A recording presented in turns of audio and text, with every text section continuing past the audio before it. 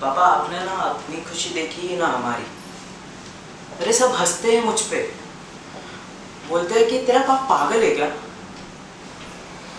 घर बार छोड़ के कोर्ट कचहरी के चक्कर लगाया जा रहा है।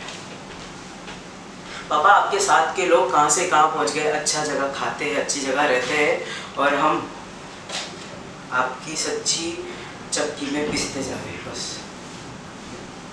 ऐसी ज़िंदगी जीने से अच्छा कहीं जाके मैं मर जाता हूँ।